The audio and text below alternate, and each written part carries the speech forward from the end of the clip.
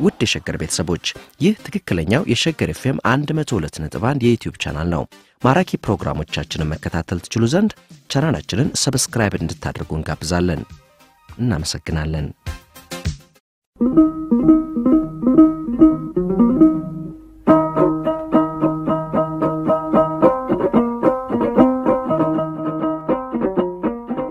ትዝታ ዘአራዳ ሰሞኑ አዲስ አበባ የተቆረቆረችበት ልደት ሰሞን ነው። በዚህ ልደቷ ሰሞንም አዲስ አበባ ዋና ከተማ ያደረጓትን ብሔር ብሔረሰቦችና ሕዝቦች ጠርታ የብሔሮች ብሔረሰቦች በዓል ለማዘጋጀት ሽር ጉድ እያለች ነው። እኛም የዛሬ ጨዋታችንን ርዕሰ ጉዳይ አዲስ አበባና አዲስ አበቤዎች አድርገናል። በዝግጅታችን ለተጠቀምንባቸው ዋቢ መዛገብት ባለመብቶች በሙሉ በኒያላ ኢንሹራንስ ኩባንያ በእናንተ በአድማጮቻችንና በእኛ በፕሮግራሙ አዘጋጆች ስም ከፍ ያለ ከበሬታ ያዘለ ምስጋና እናቀርባለን። ወይ አዲስ አበባ! ወይ አራዳ ሆይ! አገርም እንደ ሰው! ይናፍቃል ወይ? አገርም እንደ ሰው ይናፍቃል ወይ? አራዳ አራዳ የእንጦጦ ከተማ ቤቱም ዕድሞውም ስላማረ ብርዱ እጅግ የበረታ ነው። ነገር ግን ከእንጦጦ በታች ካለው ፍል ውሃ ለመታጠብ አጼ ምኒልክም ወይዘሮ ጣይቱም ወርደው ነበር። በዚያን ጊዜ ወይዘሮ ጣይቱ ከድንኳኑ ደጃፍ ሆነው ሙቀቱን፣ ማማሩን፣ ሀገሪቱን ተመለከቱ። ከዚህ አገር ቦታ ይስጡኝና ቤት ልሥራ ብለው ለመኑ። ንጉሡም ፊት ቤት አሰሪና ኋላ አገሩን እሰጥሻለሁ አሉ። ወይዘሮ ጣይቱም የት ልሥራ ብለው ጠየቁ። ንጉሡም አባቴ ንጉሥ ሳህለ ሥላሴ አጥር ያሳጠሩበት ይህ ነው፣ ከዚህ ላይ ይሁን ብለው የሚያሰሩበትን ቦታ አሳዩዎ። በዚችም አገር ንጉሥ ሳህለ ሥላሴ እንደ ነቢዩ እንደ ሚክያስ ትንቢት ተናግረውበታል። ከትልቁ ዛፍ አጠገብ ተቀምጠው ጠጅ በቀንድ ቀርቦ ሰንጠረዥ እየተጫወቱ አንቺ አገር ዳዋ ሰፍሮብሻል፣ ኋላም የልጅ ልጄ ቤት ይሠራብሻል፣ ከተማ ያደርግሻል ብለው ተናግረው ነበር አሉ። በዚያ ሰሞን የፈቃድ እግዚአብሔር ነውና ያንን ቤት ወይዘሮ ጣይቱ ለማሰራት አሰቡ። አዛዡንም ጠርተው ከዚህ ላይ ቤት ቶሎ አሰራ ብለው አዘዙ። ቤቷም እጅግ መልካም ሁና ተሰርታ በጥቂት ቀን ተጨረሰች ይላሉ ጻፌ ትእዛዝ ገብረ ሥላሴ በመጽሐፋቸው። መንግሥቱ ለማ በጻፉት መጽሐፈ ትዝታ ደግሞ ባለታሪኩ አለቃ ለማ ኃይሉ ወልደ ታሪክ እንዲህ ይላሉ። እንግዲህ አዲስ አበባ ተቆረቆረ ለከተማነት። አለቃ ወልደ ያሬድ ሥላሴን ተሾሙ። መጀመሪያው አለቃ እሳቸው ናቸው። አለቃ ተጠምቆ ተጠሩ። በመንግሥት ትእዛዝ ነው። አጤ ምኒልክ አይደለም አዛዡ። ሊቀ ካህናቱ ንቡረዳ አድማሱ ናቸው የጠሯቸው። ይምጡ ተባለ። መርቼ ይዤ መጣሁ ከደብረ ብርሃን። እየመጡ ፍሏ ይጠመቃሉ። አጤ ምኒልክ እንጦጦ አይደለም ቤታቸው። ይመጡና ሰባት ቀን ሁለት ሳምንት ይቀመጡና ጥለው ይሄዳሉ። ያ ውሃ የባለ አገር የከብት ማጠጫ ነው። ያን ጊዜ እንዲህ ቤትና እንዲህ አላማረበትም። እንዲያው ውሃ አለ። ዙሪያው ጉድጓድ ተቆፍሮ እንዲያው ከፀሐይ ላይ ሲጠመቁ ከላይ ድንኳን ይተከላል። የመኳንንቱ እንደኛ ያለው ድሃ የሆነ እንደሆነ እንዲያው ዝም ብሎ ሄዶ ከፀሐይ መሰጣት ነው። መስቀልን ውለው ፍል ውሃ መጡ። ኋላ ከዚህ ሰባት ቀን ያህል ተቀምጠው አደርገ ሄዱ አዘዋቸው አጤ ዮሐንስ። ኋላ ተነስተው እሳቸው ሲወርዱ ምሽታቸውን ውጪቴ ከቤትሽ ተመለሺ፣ ጋቢሽ ይከተለኝ ብለው ትተዋቸው ሄዱ። መኳንንቱ እንውጣ ወደ ቤታችን እንሂድ እንግዲህ ወደ ቤታችን አሏቸው። ወዴት? እንጦጦ። ከምኒልክ ጋር ወጥቼ ብቻዬን ልገባበት አላረገው አሉ። ዝም ብለው ተቀመጡ። ቢሏቸው ቢያደርጓቸው ማይሆን ሆነ። መስክ ነው ያን ጊዜ ምንም ምንም የለበት ባገሩ ዛፍ እንኳ የለም። ኋላ እኒህ ሴት ከዚህ ሜዳ ላይ ሆነው የዚህ አገር ብርድ ያን ያህል ነው፣ ሄደው የወደቁ እንደሆነ ምን እናደርጋለን? ዳኛ ይሆናል አሉና መኳንንቱ ከመናገሻ እንጨቱ ተቆረጠ ተቆረጠ መጣና መኝታ ቤት ተሠራ። እንጦጦ ጠጅ ይዛ ስትመጣ ገረድ ወደቀች፣ ዳብሌው ተሰበረ፣ ጠጁ ፈሰሰ። ወጥ ይዛ ስትመጣ ከዚያ ላይ ተሰርቶ ወደቀች፣ ወጡ ፈሰሰ። አይ ይሄ ምን ይሆናል ተባለና ከዚህ ወጥ ቤት የማድ ቤት ሰሩ መኳንንቱ። አጤ ምኒልክ ወረዱና ድል ነሱና መጡ። ቢመጡ ቤት ሰርተው ተቀምጠው አገኟቸው። እህ እቴ እዚህ ነው ያለሽው ሲሉ ጊዜ አዎ፣ መልካም አርገሻል፣ መልካም አርገሻል አሉ። ገብተው እቴጌ ያሰሩት ቤት ተኝተው አደሩ። እዚሁ ተቀመጡ። ምኒልክ ይወጣሉ፣ ይመለሳሉ፣ ይሄዳሉ። ትልቁ ቤት እኮ እላይ ነው። እንጦጦ አይደለም ከተማው። ፉልሃ ቤት አልተሰራበትም። ዛዲያ ከዚሁ ከላይኛው ከቤተ መንግሥቱ ነው ቤትማ። ያ ተቆፍሮ ጉድጓዱ ነዋል። ከዚያ ላይ ሂዶ መጠመቅ ነው። ለመኳንንቱ ድንኳን፣ ለነገሥታቱ። አጤ ምኒልክ መጡ፣ ከላይ መጡ። ዛዲያ ይህንን ሰሩ አዲስ አበባን። ዛዲያ እቴጌ አዲስ አበባ አሏት አገሪቱን። የእቴጌ ጣይቱ ነው አዲስ አበባ። መጽሐፈ ትዝታ ዛለቀለም ኃይሉ ወልደ ታሪክ መንግሥቱ ለማ እንደ ጻፈው አዲስ አበባ የተዋብሽ ሕይወት አየርሽ አዲስ አበባ የተዋብሽ ሕይወት ያድሳል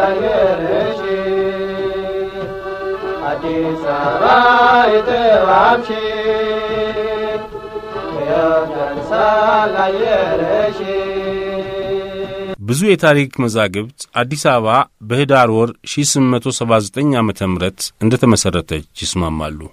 ነገር ግን ሌሎች ተመራማሪዎችና የታሪክ ጸሐፊዎች ደግሞ አዲስ አበባ የተመሠረተችበት ቦታ በተለምዶ ግራኝ መሐመድ ይባሉ ከነበሩት ኢማም አህመድ ቢን ኢብራሂም ዘመን በፊት በረራ የሚባል የነገሥታት መቀመጫ የሆነች ከተማ እንደነበረችባት ይተርካሉ። በረራ ከአጼ ዳዊት ቀዳማዊ ዘመን 1380 እስከ 1413 ጀምሮ እስከ አጼ ልብነ ድንግል 1408 እስከ 1480 ድረስ ዋና የነገሥታቱና የጳጳሳቱ መቀመጫ የነበረች ከተማ ናት። በኢማም አህመድ ወይም ግራኝ መሐመድ ውጊያ ከመውደሟ በፊት በረራ ከላይ እንደጠቀስነው ከአጼ ዳዊት ዘመን ጀምሮ እስከ አጼ ልብነ ድንግል ድረስ ከ1380 እስከ 1480 በትንሹ ለአንድ መቶ ዓመት ወይም ለአንድ ክፍለ ዘመን የመንግሥት መቀመጫ በመሆን ያገለገለች ከተማ ነበረች።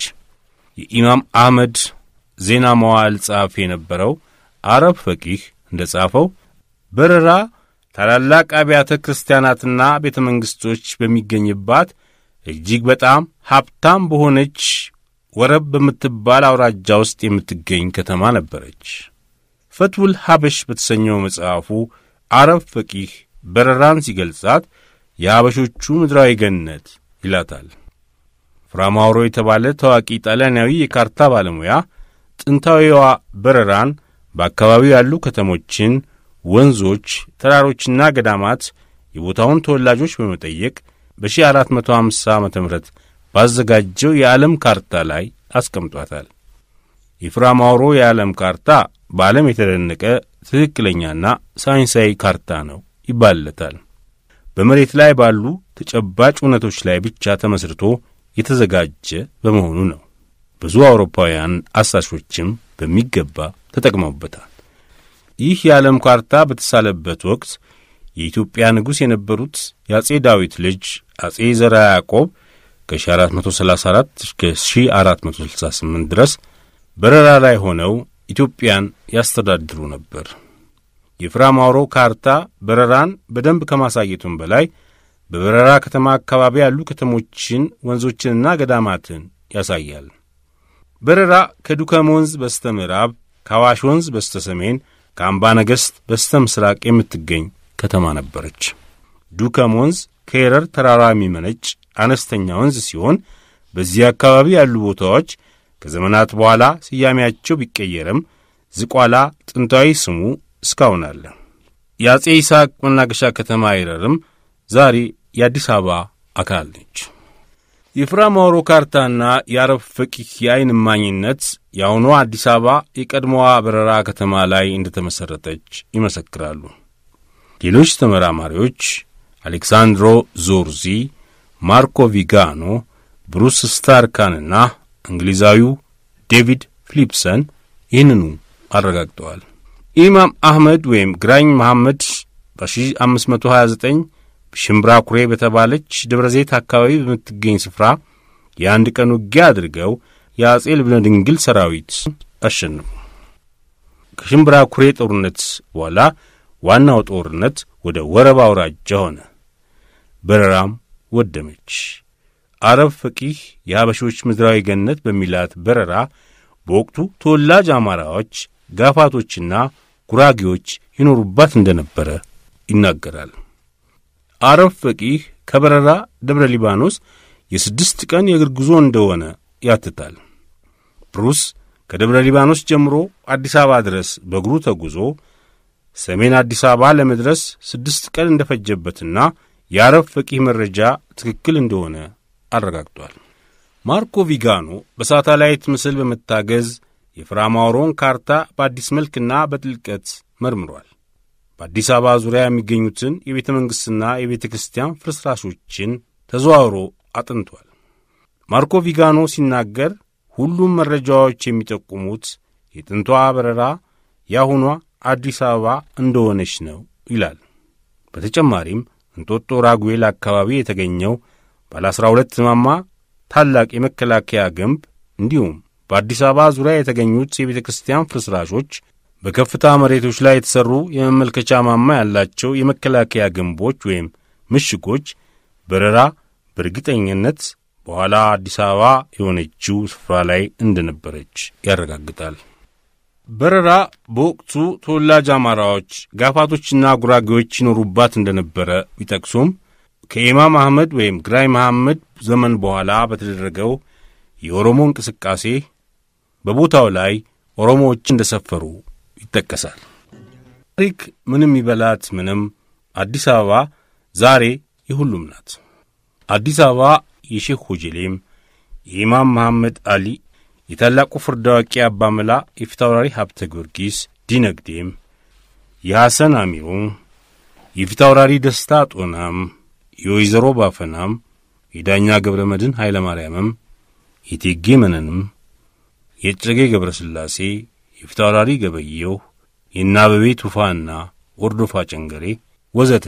ብቻ ሳይሆን ከውጭ አገር የመጡት የነ ዶክተር መረብ፣ ሐኪም ቦራ፣ ኢልግ፣ የነ ሚስተር ባምቢስ፣ የነ ሙሴ ተሬዚያንም ወዘተ ነበረች ናትም።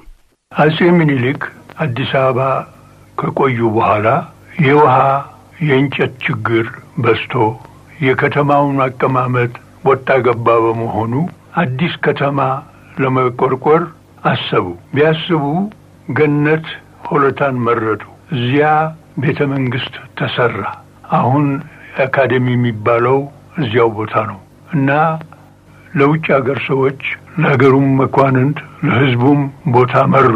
ለእኛም ለአባቴም ቦታ መርተው ነበር። በዚያን ጊዜ አዲስ አበባ አራት ከፍ ያሉ ሌጋሲዮኖች ነበሩ። አሁን ኤምባሲዎች ይባላሉ። መጀመሪያው ፈረንሳይ፣ ቀጥሎ እንግሊዝ፣ ሶስተኛ መስኮብ፣ አራተኛ ጣሊያን። እነዚህ ትልቆች ነበሩ። እነሱም ቤተ መንግስት ተጠርተው ይህንን ሀሳብ አጼ ምኒልክ ገለጹላቸው። ቢገልጹላቸው እንግሊዞችና ፈረንሳዮች ችካሉ። እንዴት እንሄዳለን ተባለ። ሌጋሲዮን ሰርተናል፣ እዚሁ ሰፍረናል። እንዴት ይኬዳል? እዚያ ለምንስ ይኬዳል? አጼ ምኒልክ ችግራቸውን ቢያመለክቱ የእነሱ መልስ እንዲህ ነው። እንጨት እንደሆን ሰው ወደ እንጨት አይሄድ፣ እንጨት ወደ ሰው ይመጣል እንጂ። ውሃ እንደሆን ውሃ ወደ ሰው ይመጣል እንጂ ሰው ውሃ ፍለጋ አይሄድም አሉ። እንዴት ይሆናል ተባለ። መንገድ ይሰራል፣ መንገድ ይዘረጋል፣ የውሃ ቧንቧ ይዘረጋል። እንዴት ይቻላል አሉ። አስረዱ። መንገድ ይሰራል፣ መንኮራኩሮች ይፈጠራሉ፣ እንጨቱ ይመጣል ወደ አዲስ አበባ። አጼ ምኒልክ ተቸገሩና ማታውን አባቴን አስጠሩ። እጅግ የወዳጅነትና የስራ ግንኙነት ነበራቸው። ባለሟልም ናቸው እና ችግራቸውን አስረዱ። አባቴ ሲያስረዱ እንዲህ አሉ። እንግሊዝ ሀገር አንድ በእንፋሎት የሚሰራ በእንጨት የሚነድ ጎታችና የሚዳምጥ መሳሪያ ነው። እሱም ብናመጣ መልካም ነው አሉ። አጼ ምኒልክ ደስ አላቸውና እንዳታድር ቶሎ ወርደህ አምጣ አሉ። አባቴ ወዲያው በከብት ድሮ ድሬዳዋ በበቅሎ ነው የሚኬደው።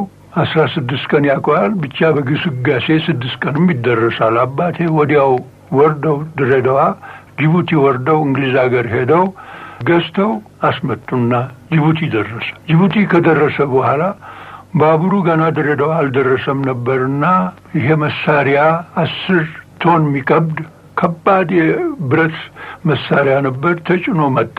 ወረደና እንዲህ መካከል መንገድ ድሬዳዋ ሳይደርስ ቦታውን ዘነጋለሁ። አሁን እንግዲህ ያለ መንገድ እንዴት ወደ ስድስት መቶ ኪሎ ሜትር እንዴት ወደ አዲስ አበባ ይደርሳል ብሎ ቢታሰብ አባቴ አገሩን በጣም ያውቁ ነበር።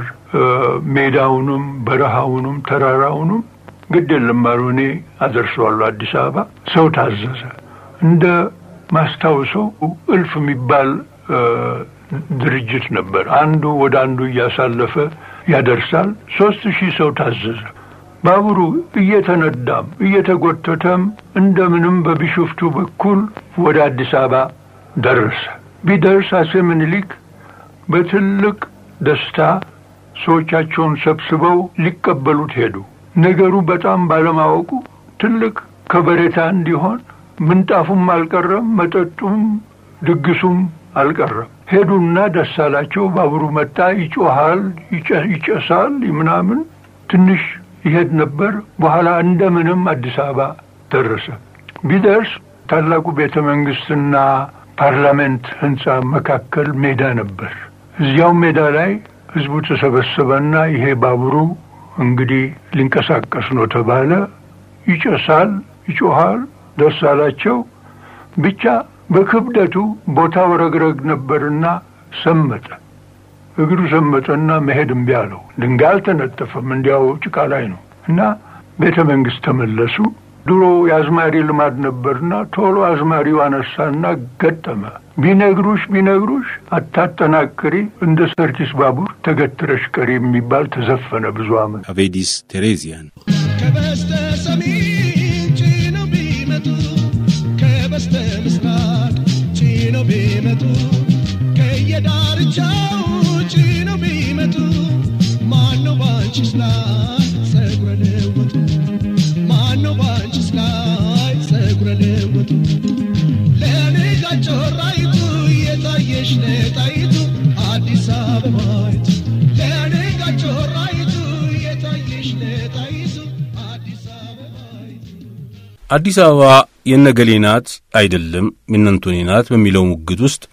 አዲስ አበባና አዲስ አበባዎች የተዘነጉ ይመስላሉ። የኢትዮጵያ ፌዴራላዊ ዲሞክራቲክ ሪፐብሊክ ሕገ መንግሥት የኢትዮጵያ ሉዓላዊ ሥልጣን ባለቤቶች የኢትዮጵያ ብሔሮች፣ ብሔረሰቦችና ሕዝቦች ቢያንስ አንድ ተወካይ በፌዴሬሽን ምክር ቤት ይኖራቸዋል። በተጨማሪም በየአንድ ሚሊዮን ሕዝብ አንድ ተወካይ ይጨመርላቸዋል ቢልም ከአምስትና ስድስት ሚሊዮን ሕዝብ በላይ የሚሆኑት አዲስ አበባዎች ሕገ መንግሥቱን በሚተረጉመው በክልሎች መካከል የሚነሱ አለመግባባቶችን በሚዳኘው ገቢ በሚያከፋፍለውና የድጎማ ቀመር በሚያወጣው ወዘተ የፌዴሬሽን ምክር ቤት አንድም ውክልና የላቸውም። እኛ አዲስ አበባ የተወለድን አዲስ አበባ ያደግን ወይም ሌላ ቦታ ተወልደንና አድገን የሕይወት ዕጣ ፈንታችን አዲስ አበባ የሆንን ፌዴሬሽኑ አለመታቀፋችን ለምን ይሆን? የፌዴሬሽኑ አባላት የትግራይ፣ የአማራ፣ የኦሮሞ፣ የደቡብ ሕዝቦች፣ የጋምቤላ፣ የአፋር፣ የሶማሌ፣ የቤኒሻንጉል ጉሙዝና የሐረሬ ብሔረሰብ እንደሆኑ ነው ሕገ መንግሥቱ የሚያረጋግጠው። የኢትዮጵያ ሉዓላዊ ሥልጣን ባለቤቶችም እነሱ እንደሆኑና በፌዴሬሽኑም ምክር ቤትም ውክልና እንደሚኖራቸው በአዲስ አበባ እንኳን የኢትዮጵያ ብሔር ብሔረሰቦችና ሕዝቦች የአፍሪካ ኤምባሲዎችም ቤት ይሰሩበታል። በአዲስ አበባ እንኳንስ የክልል ሰው ሌሎች ከአፍሪካ ውጭ የመጡ ሕዝቦችም ሰርተው ይኖሩባታል። ለአዲስ አበባ ከተማ ቤት ፈላጊዎች በወጣ የኮንዶሚኒየም ዕጣ እንኳን ከክልል መጥተው መታወቂያ የተዘጋጀላቸው ሲወስዱ አዲስ አበባዎች አልተቀየሙም። የማንነት ጥያቄም አላነሱም።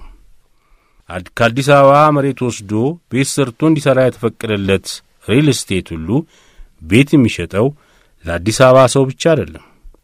እንደውም በኢትዮጵያ ለሚኖሩ ኢትዮጵያውያን ዜጎችን ብቻ አይደለም፣ የኖርዌይ፣ የእንግሊዝ፣ የአሜሪካ ዜግነት ላላቸውም ውጪ ለሚኖሩ ትውልደ ኢትዮጵያውያን ሁሉ ነው። እነሱ ውጭ አገር እየኖሩ የአዲስ አበባ ቤታቸውን እያከራዩ በመጠቀማቸው አዲስ አበቤዎች ቅር አልተሰኙም።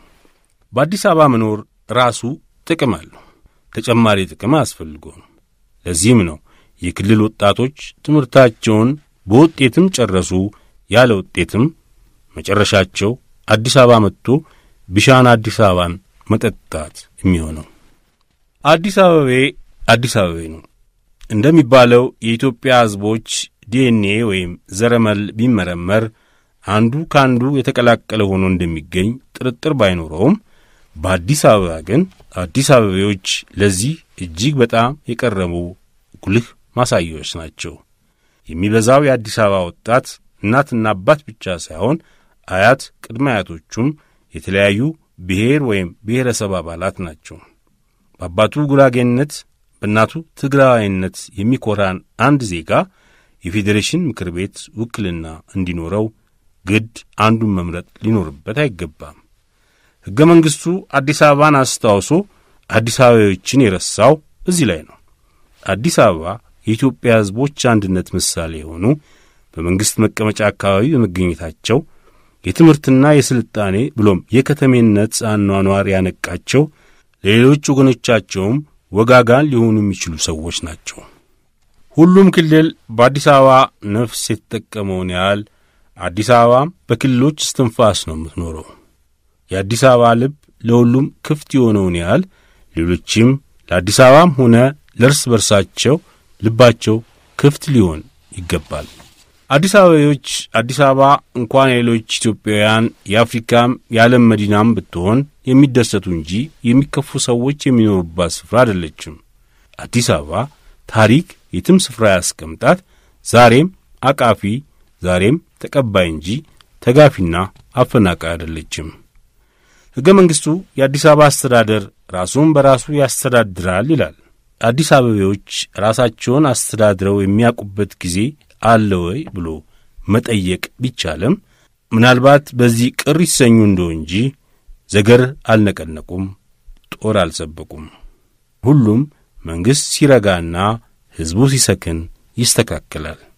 አሁን የሚያሻን ሰላምና ፍቅር ነው። ሁሉም የኢትዮጵያ ክልሎች ይህን የአዲስ አበባን አቃፊ ተቀባይ የሆነ የነቃ ባሕሪ ይላበሱ ዘንድ ሁሉም ልዩነቶቻቸውን መዋቢያ እንጂ መደባደቢያ ላያደርጓቸው በቅርቡ አዲስ አበባ በምታዘጋጀው የብሔሮች ብሔረሰቦችና ሕዝቦች ቀን ቃል ኪዳን ይገባሉ ብለን ተስፋ እናደርጋለን። ኢትዮጵያ ለዘላለም ትኑር።